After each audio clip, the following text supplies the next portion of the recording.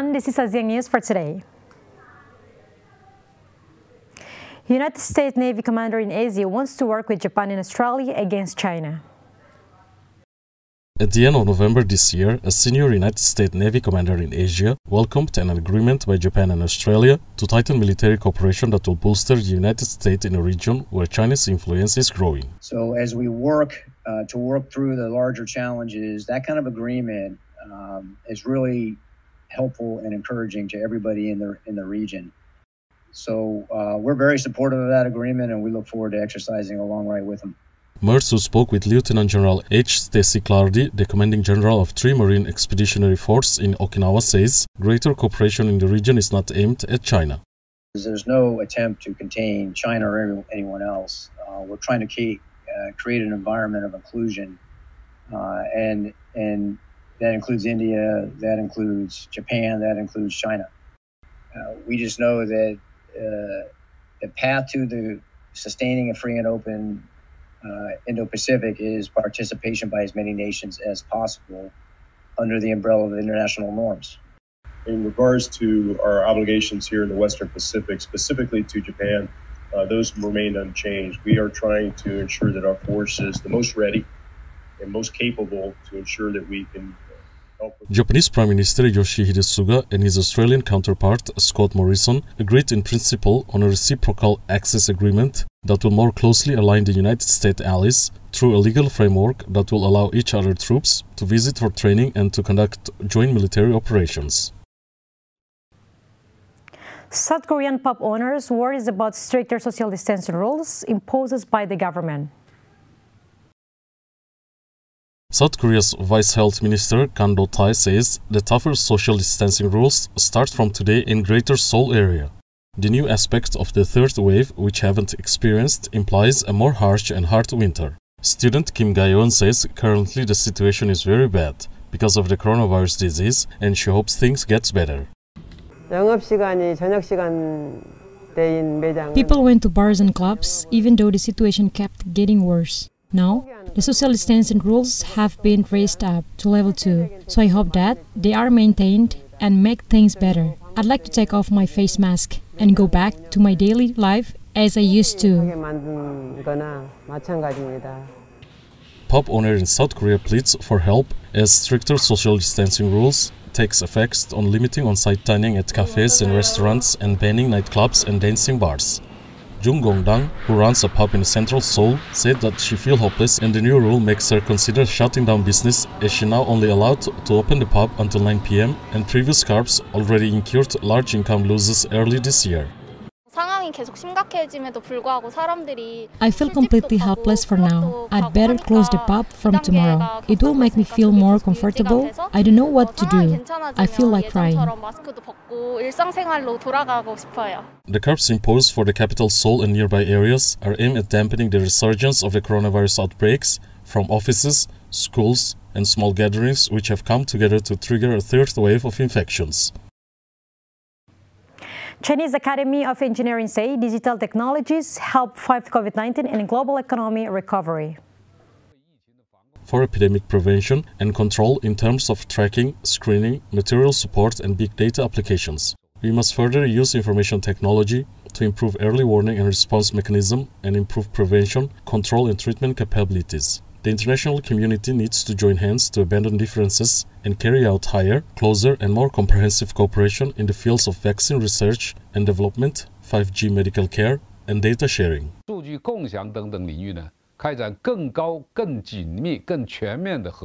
Affected by the epidemic, China's domestic GDP fell by 1.6% in the first half of this year, but the digital economy still grew by 14.5% digital economy is becoming a new engine driving the acceleration of the optimization and integration of innovation chains, industrial chains, and value chains. 5G, artificial intelligence, big data, and the internet are things will serve as infrastructure and bring many opportunities to society. When the economy recovers, these digital economies will be the fastest to pick up. In such a large-scale network activity, building an excellent network security system is also an important aspect for everyone's attention at the forum. The frequency and the intensity of the cyber attacks are increasing during the epidemic. We can only continuously strengthen cybersecurity and use a powerful cybersecurity technology and service system as the base of our digital technology, so that digital technology can better help the world fight the epidemic. Guest at the forum says that the COVID-19 bring many changes to society, and fighting the epidemic on the one hand and focusing on the development on the other has become a major issue facing many countries. Thailand urges APEC ASEAN cooperation to combat COVID-19. Thailand Prime Minister Prayut Chan-ocha praises APEC and ASEAN countries for containing coronavirus while boosting the economy. Prayut, in his remark addressing on virtual meeting summit of 21 APEC leaders, applauds the establishment of the ASEAN Regional Reserve of Medical Supplies and the ASEAN Center for Public Health Emergencies and Emerging Diseases. We have to contain the spread of COVID-19 and address the short-term impacts to help our economies move forward. To this end, I applaud APEC and ASEAN for their cooperation and timely initiatives in combating COVID-19. This includes the establishment of the ASEAN Regional Reserve of Medical Supplies, the ASEAN Center for Public Health Emergencies and Emerging Diseases.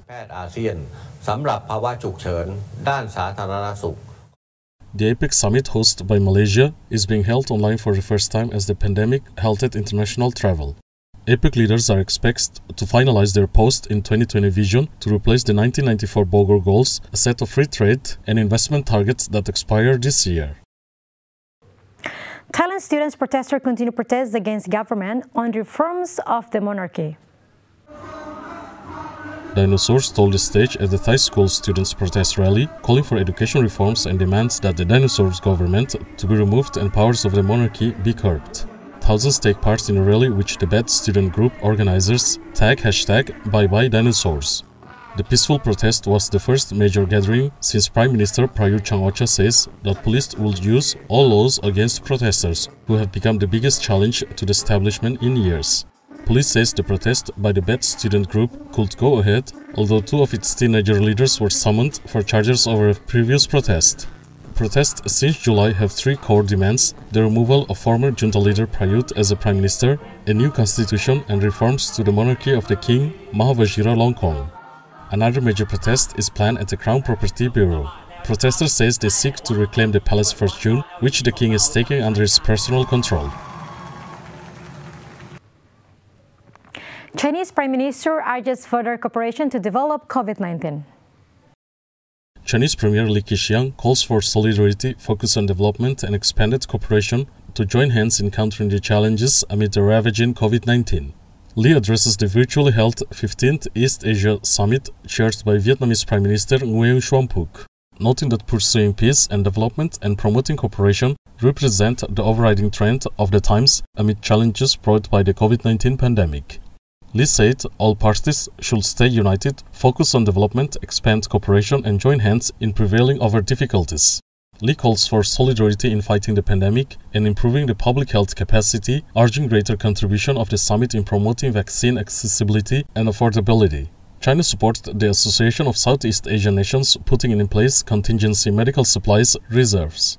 The Premier called on all parties to engage in pragmatic cooperation to enhance the capacity of sustainable development, pledging China's further efforts in climate change, anti-terrorism, cybersecurity, and other areas of cooperation. President and First Lady of Pakistan arrive at Islamabad Zoo to say goodbye to elephant Kaavan will transfers to Cambodia. Pakistan's President Arif Alvi bid farewell to Islamabad Zoo's lonely elephant Kaavan days before the animal is due to set off for a new life in Cambodia. After years of campaigning by animal rights advocates and pop star Cher to rescue him from grim conditions with no companion, Kaavan is finally said to be airlifted to an elephant sanctuary. Alvi, along with his wife Samina, fed Kaavan bananas as they discusses his transportation plans with members of animal rescue organization. I'm proud of the fact that we are providing this kind of leadership. And I just want, because I will not be here on the 29th, but I wanted to visit the elephant whom we are retiring, you know, and I'm sure in Cambodia he will find happiness. Inshallah. Because uh, it took a long time for people to realize that he was under mental stress. The elephant will airlift to Cambodia After training for weeks with International Specialist Arm, with treats such as bananas to get him used to the small enclosure and loud noises expected on the 10-hour flight. The engineer supervising its construction says his crate paints in a traditional Pakistani truck art style, adorned with brightly colored patterns, animals and the country's national flag to celebrate the joyous moment. The size of the vessel is 6.5 meters in length, uh, 2.7 meters in width and 3.6 meters in height. Um, it weighs about 6 tons. It's constructed with mild steel uh, with 5 inch pipes all around. Uh, the reason for pipes is we wanted to avoid any uh, sharp edges and any obstructions. So um, the floor plate is metal and we've used marine grade ply for softness. Um, furthermore, the, the, the, container is built with about 300 liters of um, urine holding capacity, which is also an airline requirement. There are belly straps uh, that will be used to brace Kaavan during transportation. The singer Cher is due to arrive in Islamabad later in the week to finally meet the elephant she had worked for years to rescue and set him off.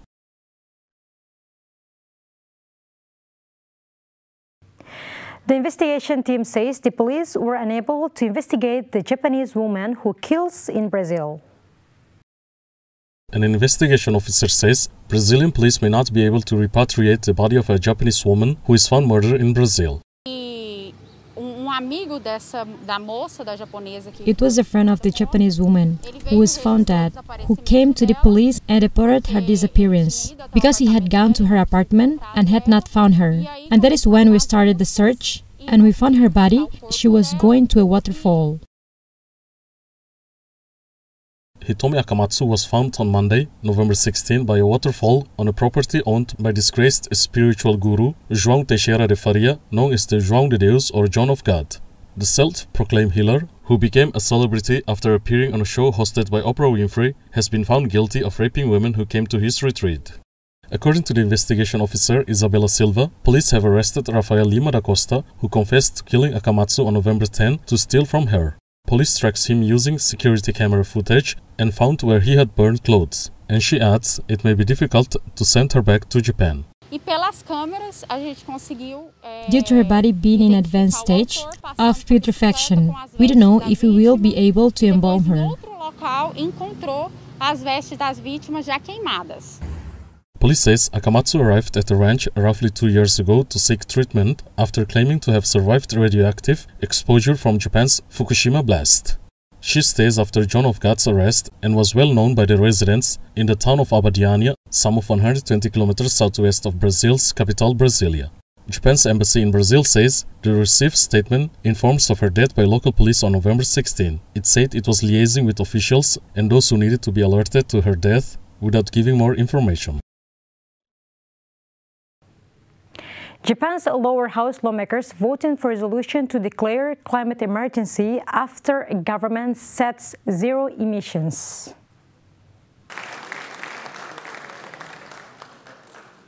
Japanese lawmakers declares a climate emergency in a symbolic vote at increasing pressure for action to combat global warming after the government last month committed to firm timetable for net zero emissions.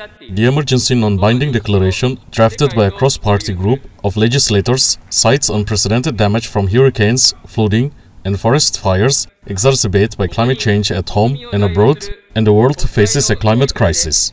With erratic weather patterns from this year's record hurricane season in the Atlantic to floods in Europe being linked to climate change, the governments around the world face more calls to act even the coronavirus pandemic rages, saping resources.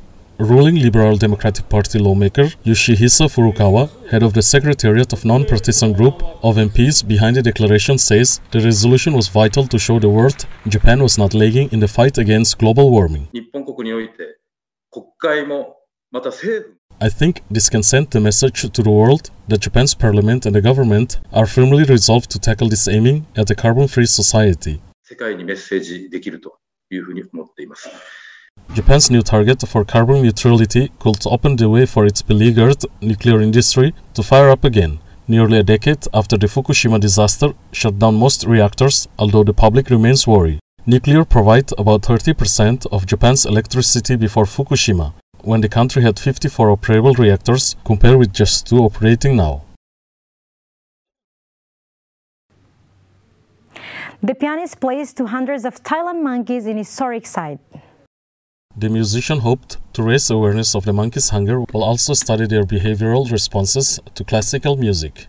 Barton was a rock star to hundreds of hungry wild monkeys that he hoped his music would count at a time when Thailand's coronavirus-induced tourism hiatus meant there were fewer visitors to feed them and less funds allocated for their welfare. Wonderful, a wonderful opportunity to see wild animals just being themselves. I think that I was surprised to play the piano and find they were actually eating the music uh, as I was playing it, uh, eating this and pulling the stool to pieces. But you know, this is an incredible opportunity, and I wasn't going to to let those things uh, distract from the project, which is to play music for these wonderful macaques. While on tour in central Thailand, British musician Paul Barton are mobbed by unruly audiences who tugged his hair, stole his music, and climbed all over his piano. I like to play piano for animals that have had stressful lives and it's possible that music can play a part in the rehabilitation process, especially elephants that have had uh, working elephants and I was wondering whether some of the monkeys that lived Barton plays at four venues in Lopburi, a province famous for its marauding monkeys, including an ancient Hindu temple, a hardware store and a derelict theater. That's all for today. See you soon.